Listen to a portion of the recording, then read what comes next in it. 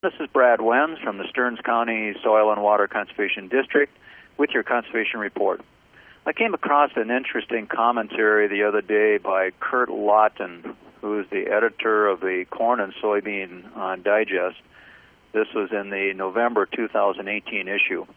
And uh, Kurt is talking about a data report that's being conducted by the Ag Food Consultant and CPA firm K-Coe Isom's Ag Knowledge and the Environmental Defense Fund.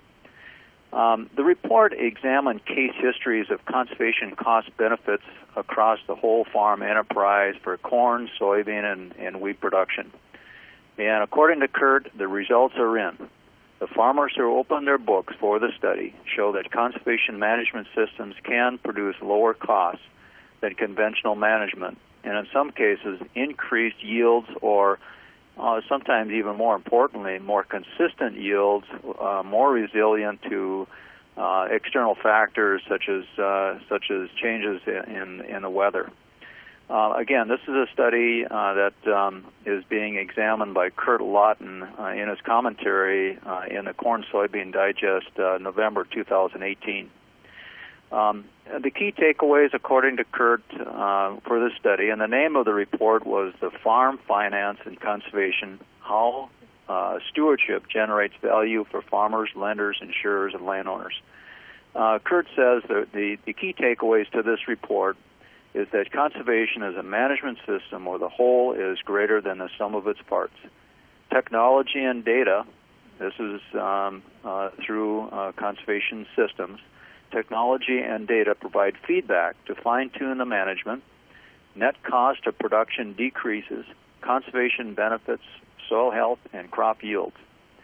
However, Kurt goes on, he says that, um, but an, examination uh, done by this report of the broader financial system shows that crop insurers, lenders, landowners, and others ignore the financial value of conservation and, that, and thus the, the title of this commentary is Conservation Profits Need Help.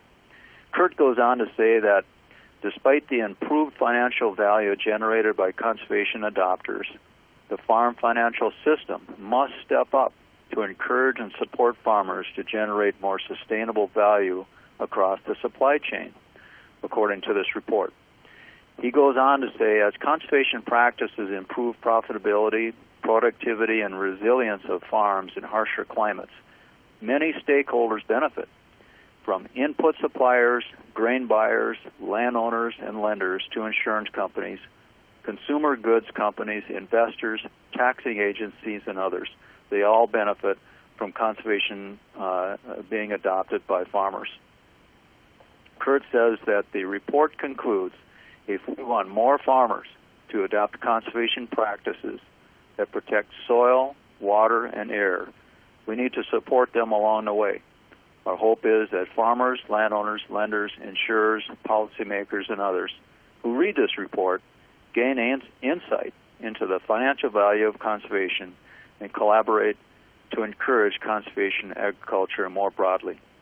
This is something I've always supported uh, throughout my career here with the Soil and Water Conservation District we firmly believe that a wise uh, uh, um, adoption of conservation practices can impre- in, increase and sustain uh, farm productivity. Uh, if you want more information about this report, you can contact Kurt Lawton at farmprogress.com at the Corn and, and Soybean Digest. Uh, switching gears here a little bit, um, talking about the Stearns County Tree Program, a little bit of an update. Uh, we still offer uh, um, uh, district trees that are available. The only species that are out of stock right now are the balsam fir and the tamarack. Uh, we actually keep a running total of the available trees on our website. You can order either from our office or online from our website, stearnscountyswcd.net. We also offer pollinator seed mixes for sale and uh, signs that say trees are planted here. They're available from the Soil and Water Conservation District. Thank you very much. This has been Brad Wenz from the Stearns County Soil and Water Conservation District with your conservation report.